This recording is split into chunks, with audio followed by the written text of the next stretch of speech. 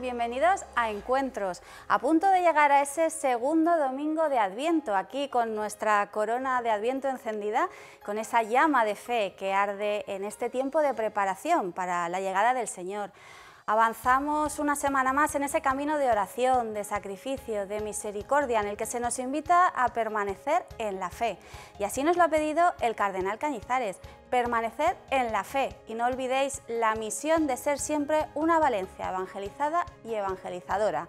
Emotivas palabras que nos regaló don Antonio durante la misa de despedida de la diócesis de Valencia tras ocho años siendo su pastor. Una celebración cargada de emociones que ahora mismo les contamos, pero también con muchos temas más junto a Samuel Martos. Buenos días, Samuel. Muy buenos días, Marta, y buenos días a todos ustedes. Muy buenos días, bienvenidos. Pues sí, lleno total en la despedida de don Antonio y también esperamos la catedral abarrotada para la semana que viene en la toma de posesión de Monseñor Enrique Benavent. Les vamos a contar hoy todos los detalles de un acontecimiento que va a durar, atención, dos días, con el paso del nuevo arzobispo de Valencia por distintos lugares, por distintas localidades de la diócesis, siguiendo una tradición centenaria. También enseguida hablamos de un nuevo paso adelante en las relaciones de la Iglesia Valenciana con la administración pública. Así que atentos, no se vayan, empezamos ya Encuentros.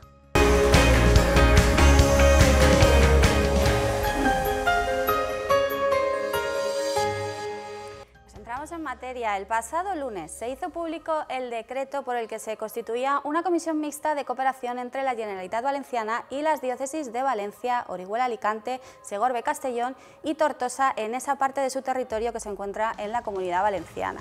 Un órgano colegiado que ha celebrado su primera sesión constitutiva, aquí lo vemos, formada por el presidente de la Generalitat, Chimo Puig, el cardenal Cañizares y diez vocales, cinco del arzobispado y cinco del gobierno valenciano una comisión para el acuerdo, para el entendimiento y la colaboración que, según el cardenal Cañizares, si todas las comunidades autónomas lo tuviesen, se evitarían muchos problemas. Siempre a disposición de colaborar y buscar acuerdos. Evitaría muchos problemas en estos momentos si todas las comunidades autónomas tuviesen una comisión como esta. Es un anticipo y un signo de futuro. Yo digo que agradezco el que se haya firmado este acuerdo, se haya publicado, porque son mis últimos días aquí en Valencia y le dejo un buen legado a mi sucesor, Enrique Benavent, que también es valenciano y viene también de una diócesis con territorio valenciano. No buscamos medidas extrañas, sentido común y responsabilidad. Para mí ha sido un regalo. Pues eso lo digo todo. Porque dejo también a mi sucesor el camino trillado y ya abierto para llegar a acuerdos concretos y puntuales que haya que llegar en su momento concreto. Pues esta nueva institución va a estudiar los temas que afectan a la sociedad y a todos los valencianos en ámbitos como el patrimonio cultural, la enseñanza, la asistencia sanitaria, la asistencia social y la justicia un reflejo de diálogo entre Generalitat e Iglesia, como señaló Chimo quien agradeció al cardenal su voluntad de cooperación y de acuerdo. Nosotros eh, queremos profundizar en la cooperación y en la colaboración, porque al final, como decía el cardenal, todos tenemos un objetivo que es el bien común. Y en estos ámbitos eh, creo que hay muchas posibilidades de acelerar y acrecentar la cooperación y la colaboración. Y de eso se trata. Lo vamos a hacer a través de las distintas comisiones y cuando haya pues, eh, puntos en los que haya divergencia de opiniones, pues intentar solucionarlos. Porque de lo que se trata es de afianzar un diálogo que siempre da buenos resultados. Yo también quiero aprovechar este momento para agradecer al cardenal el trabajo que ha venido haciendo como arzobispo, el trabajo y la voluntad de cooperación, la voluntad de acuerdo a través del diálogo y desde el respeto. El respeto es la base de la convivencia. Y sí que quiero decirle, cardenal, que siempre, de alguna manera, eh, este legado nos va a abrir nuevas puertas, nuevos horizontes y siempre pues, tendremos el reconocimiento hacia su persona y hacia su voluntad. Muchas gracias.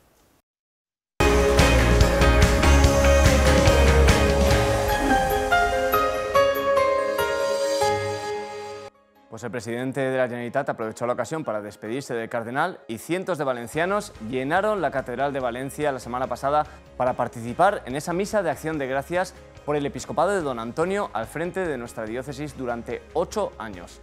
Antes de presidir la Eucaristía en la Catedral, el cardenal acudió a la Basílica para visitar a la patrona de los valencianos, aquí estamos viendo las imágenes, en su camarín, rezar ante ella y firmar en el libro de oro.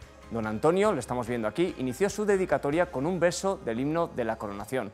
En Terres Valencianes, la fe per vos no mor. El cardenal dio las gracias a la Mare de Deu. Tú me trajiste a Valencia y ahora la dejo, pero no la abandono, expresando así su nueva etapa dedicada ahora a rezar por la diócesis. Unas emotivas palabras que pueden leer si quieren de forma íntegra en la sección de noticias de la página web archivalencia.org. Y después de visitar la basílica, el cardenal llegó a la catedral donde fue recibido con un gran aplauso por todos los sacerdotes que le esperaban en la sacristía. Durante la celebración les dio las gracias a todos ellos, a los diáconos, a los religiosos y religiosas, a la vida contemplativa y a los consagrados. También nos agradeció a todos los fieles laicos, autoridades y a todos los pueblos de la comunidad valenciana y nos animó a todos a seguir caminando en comunión junto al nuevo arzobispo. Os dejo a todos emocionado y conmovido vuestra presencia en esta celebración y todo cuanto habéis hecho conmigo. Han sido años intensos, diría que muy intensos. Han sido años de inmensos dones de Dios que solo Él conoce y que no soy capaz de explicar adecuadamente porque nos sobrepasan y desbordan. Y hoy voy a dejar, casi como testamento, las palabras que han sido mi horizonte. Solo Dios y solo Jesucristo. Valencia evangelizada y evangelizadora. Ese es tu camino. Permaneced en la fe, muy en comunión con don Enrique Benavén, mi querido sucesor. A Él le ponemos en manos de María. Lo confiamos a ella. Que ella lo cuide, lo acompañe y le proteja, como ha hecho conmigo. Amén. Pues antes, antes de la bendición final, en la misa de despedida, Arturo Ross, el obispo auxiliar de Valencia, quiso dedicar unas palabras de agradecimiento al cardenal Cañizares por enseñarnos con su vida a buscar, hallar y amar a Dios en todas las cosas. Solo Dios y todos hijos e hijas y hermanos y hermanas, Dios todo y siempre. Gracias, don Antonio, por enseñarnos con su vida esa hermosa lección y enseñarnos siempre a buscar, hallar y amar a Dios en todas las cosas. Es sin duda el legado más hermoso. Las cosas del mundo se diluyen con el tiempo. Dios está siempre con nosotros. Vive en nosotros. Camina con nosotros. Gracias, don Antonio, por hacernos vivir siempre esa hermosa experiencia.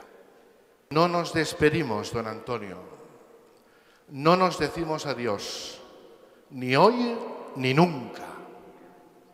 Estaremos siempre unidos en el altar. Le decimos, como los discípulos de Maús, quédate con nosotros. El Señor lo hizo, usted también.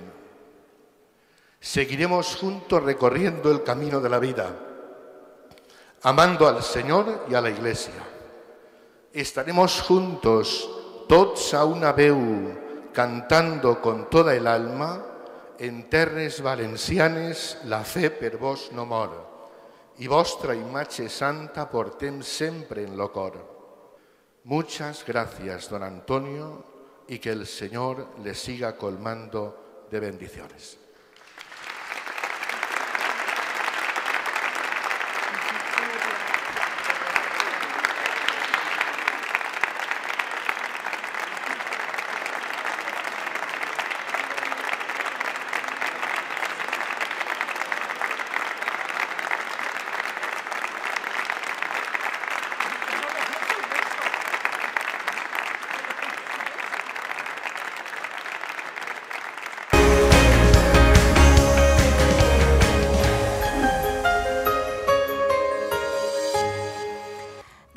Desde Encuentros, también nos sumamos a ese agradecimiento a don Antonio por su tiempo y su dedicación. Ya saben que se están ultimando en Valencia todos los detalles que se preparan para recibir a Monseñor Enrique Benavent como nuevo pastor de la diócesis. El próximo fin de semana, a estas horas, estará celebrando la toma posesión del nuevo arzobispo. Nosotros vamos a conocer los detalles de su llegada y de la celebración, que como saben está marcada por una serie de ritos, algunos de ellos muy antiguos. Vamos a entender mejor su significado con la ayuda del delegado de liturgia de la diócesis, Edgar Esteve. El rito de la toma de posesión comenzará, como decía Samu antes, el día de antes, el viernes 9, con un recorrido eh, de entrada a la diócesis cargado de símbolos. Vamos a verlo. El señor arzobispo iniciará su recorrido en la diócesis de Valencia por la primera localidad de nuestra diócesis. En este caso, como don Enrique viene de Tortosa, el primer pueblo, la primera parroquia de la diócesis será la parroquia de Benavites, justo en el límite diocesano. De manera que el señor arzobispo visitará aquella parroquia y aquella comunidad parroquial. Allí tendrá la celebración de la hora intermedia y se dirigirá a los fieles, también a los fieles de la zona que se reunirán para recibirle. A continuación eh, se dirigirá ya al monasterio de Santa María del Puig. Allí, junto con la comunidad de mercedarios, venerará la imagen de la que es la primera patrona que tuvo el Reino de Valencia. De alguna manera, es un reconocimiento de los orígenes eh, cristianos también de nuestra comunidad diocesana, que aunque hunde sus raíces en San Vicente Mártir, eh, ciertamente pues, fue de alguna manera reconstituida a partir de la reconquista por parte del rey Jaime I, reconquista de la ciudad de Valencia que se inicia precisamente bajo eh, este patronazgo de la Virgen del Puig en aquel lugar.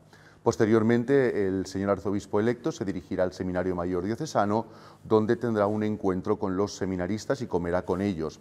Para don Enrique tendrá un sentido muy particular esta visita, puesto que eh, el nuevo arzobispo fue superior del Seminario Mayor y, por tanto, pues para él será un poco como volver a, su casa.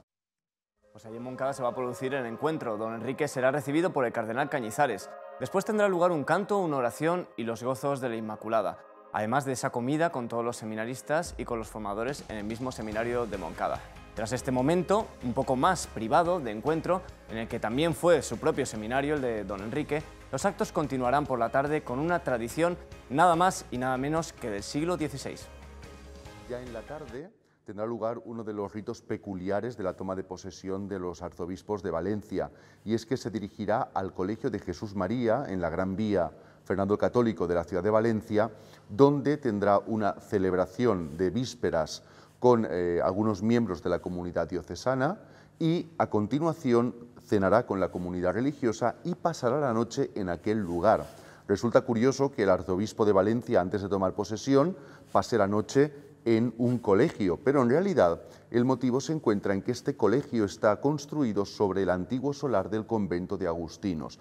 Tenemos que remontarnos a Santo Tomás de Villanueva, eh, el santo arzobispo valenciano, que como era agustino, en la noche antes de tomar posesión como arzobispo de Valencia ya por el siglo XVI, pues pernoctó en aquel convento que era su convento de agustinos fuera de las murallas de la ciudad.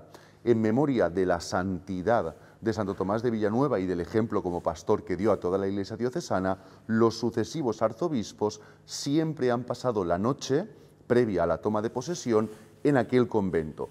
Cuando el convento dejó de serlo y se construyó el colegio, ha continuado la tradición y hasta el mismo eh, don Antonio, nuestro actual administrador apostólico, también antes de tomar posesión, pasó la noche previa en aquel colegio.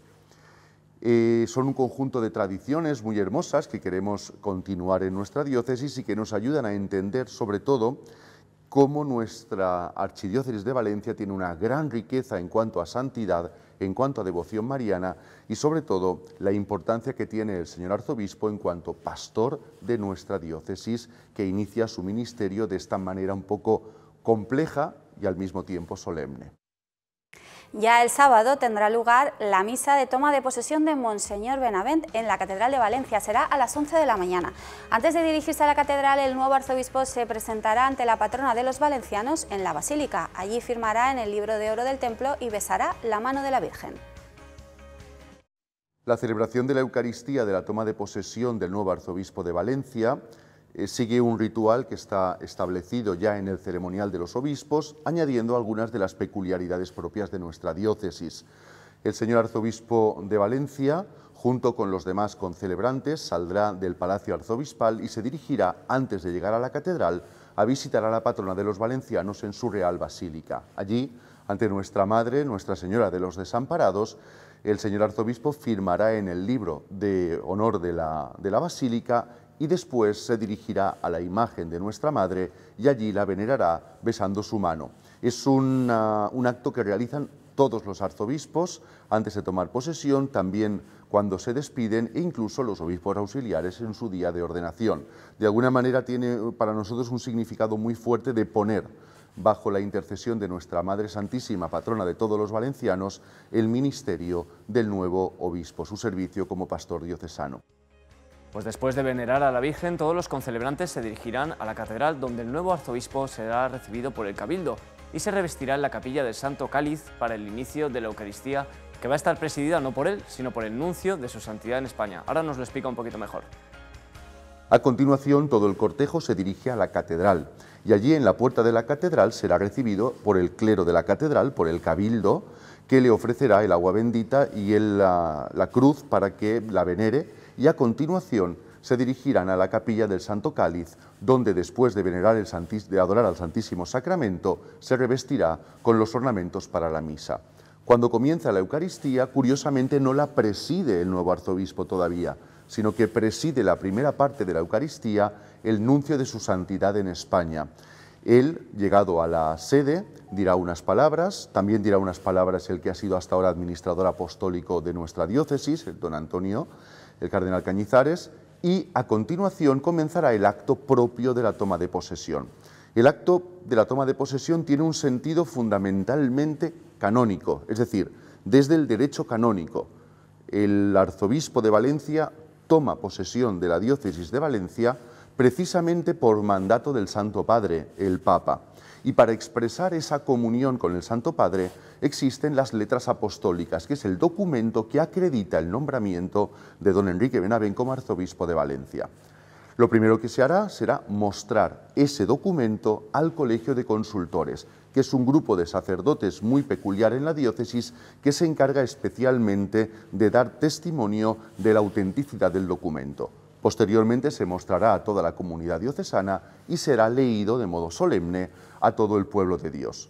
Acabado lo cual, el señor arzobispo se sentará en la cátedra, que es la silla que preside la catedral y es el lugar desde el cual simbólicamente preside la iglesia diocesana. En el momento en que el señor arzobispo se siente en la cátedra, se entenderá que ha tomado posesión ya de la diócesis. Pues como ven, unas jornadas llenas de ritos cargados de significado que ayudan a toda la comunidad cristiana que camina en Valencia a acoger a quien va a ser su nuevo pastor. Dos intensas jornadas que concluirán con la celebración de esa Eucaristía como signo de comunión. Comenzará ya la celebración de la Eucaristía.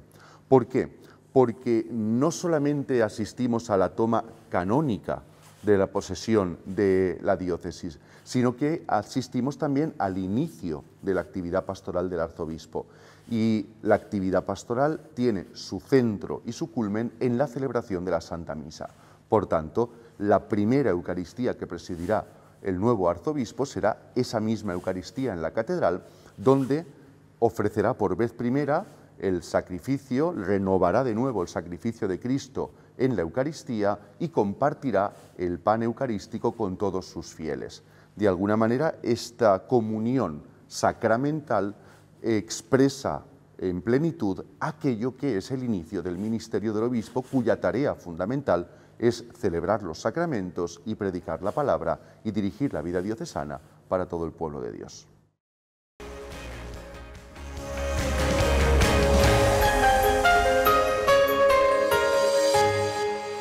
Vamos con más noticias porque continúan las sesiones del ciclo de conferencias que el Secretariado de Espiritualidad ha organizado este año en torno a la misión diocesana en el centenario de la coronación de la Virgen de los Desamparados. Esta semana ha sido impartida por Jesús Girón, secretario de la Facultad de Teología. Si se la perdieron, no pasa nada, pueden verla íntegra en el canal YouTube del Arzobispado. Y cerca de 500 alumnos, familias, profesores y religiosos de los tres colegios de los Escolapios en Valencia participaron en una misa en la catedral con motivo del año jubilar del centenario de la coronación. La imagen de la Virgen fue trasladada por un grupo de estudiantes desde la basílica hasta el altar mayor de la catedral. La misa se celebró en acción de gracias por el camino que la orden emprendió en 2016 de renovación de la oración continua promovida por su fundador, San José de Calasanz, y que se practica en los centros escolares. Y cinco seminaristas de la diócesis de Valencia recibieron el ministerio del lector y un seminarista y un religioso cooperador de la verdad, el de acólito. Todo ello en una Eucaristía presidida por Monseñor Arturo Ross en el Seminario Mayor en Moncada. Y el toque manual de campanas que tanto se ha impulsado y también recuperado desde Valencia y la Comunidad Valenciana ha sido declarado Patrimonio de la Humanidad por la UNESCO, una candidatura que les avanzamos la semana pasada y que finalmente ha sido declarada. El lenguaje universal de nuestras campanas es ya Patrimonio de la Humanidad. Pues enhorabuena a todos nuestros campaneros y ya saben que todas estas noticias y muchísimas más las pueden ver en la página web del Arzobispado, no nos cansamos de decirlo, archivalencia.org. Allí podrán encontrar los mejores reportajes y entrevistas y profundidad, también en el periódico de todos en Paraula Iglesia en Valencia. Y para estar a la última, los mejores vídeos, los mejores directos los tienen gratis suscribiéndose a nuestro canal de YouTube, youtube.com barra archivalencia.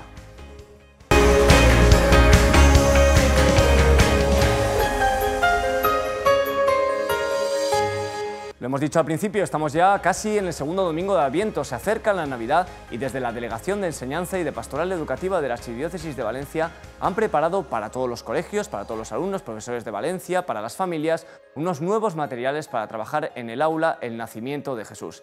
Esta propuesta está pensada para que los centros las vayan aplicando en las últimas jornadas de clase antes de las vacaciones navideñas, ¿verdad Marta? Pues sí, porque además este año la Delegación de Enseñanza propone una reflexión sobre la vida de Jesús a través del libro Ocho relatos y una promesa de Luis Arturo Jiménez Alamán, una obra que profundiza en algunos relatos evangélicos escogidos por el autor. Los materiales están ya disponibles en la página web del Arzobispado, recordamos archivalencia.org. Bueno, pues eh, en este libro vamos a, a encontrar una serie de relatos en torno a varios momentos de la vida de Jesús, desde el nacimiento hasta la resurrección.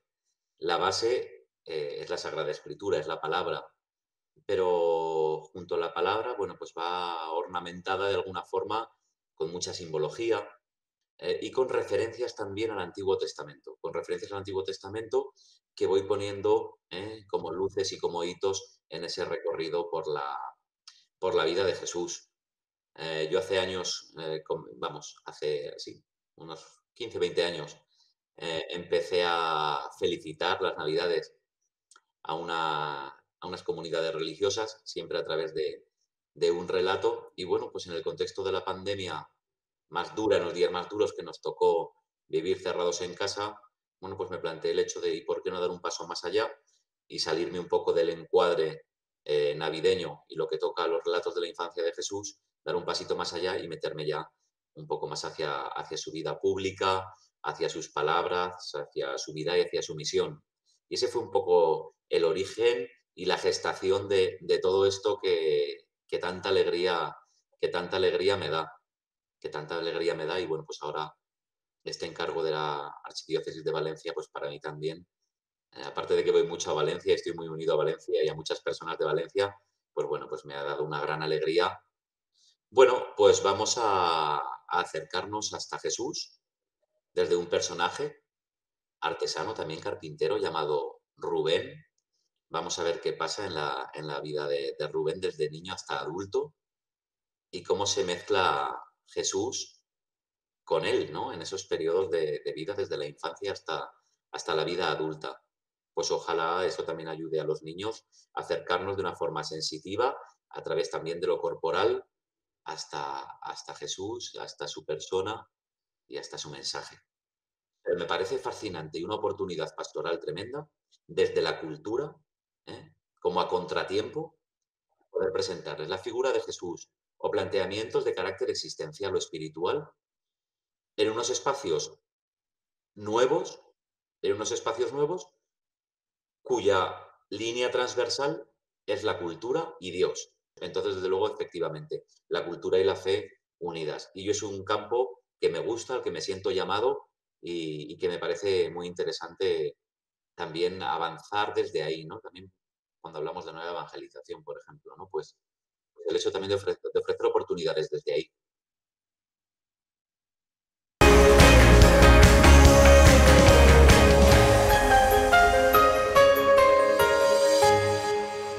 Iniciado diciembre ya conocemos la intención de oración del Santo Padre para este mes. Francisco nos invita a rezar para que las organizaciones de voluntariado y de promoción humana encuentren personas que estén deseosas de comprometerse con el bien común y buscar nuevas vías de colaboración a nivel internacional. Lo vemos.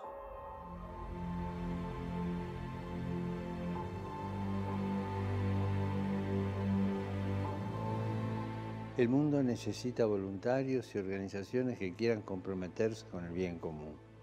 Sí, es la palabra que hoy muchos quieren borrar, compromiso. Y el mundo necesita voluntarios que se comprometan por el bien común.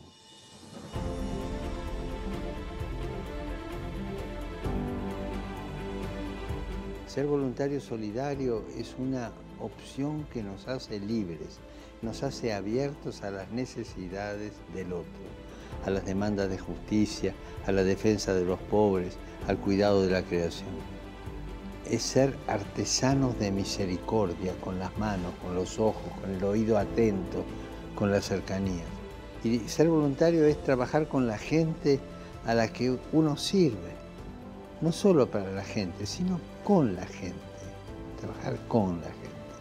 La labor de las organizaciones de voluntariado es mucho más eficaz cuando colaboran entre sí y también con los estados.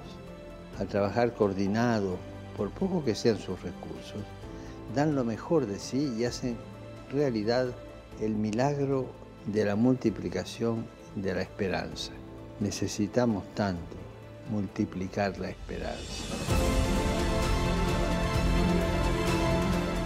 Recemos para que las organizaciones de voluntariado y de promoción humana encuentren personas que estén deseosas de comprometerse con el bien común y buscar nuevas vías de colaboración a nivel internacional.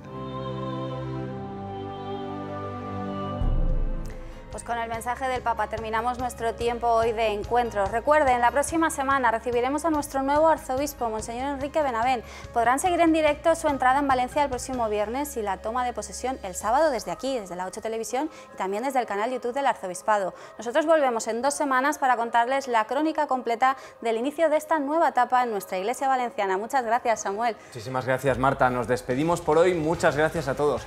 Recordamos también que este jueves es la solemnidad de la Inmaculada y es día de precepto y vamos a tener una misa solemne en la Catedral de Valencia.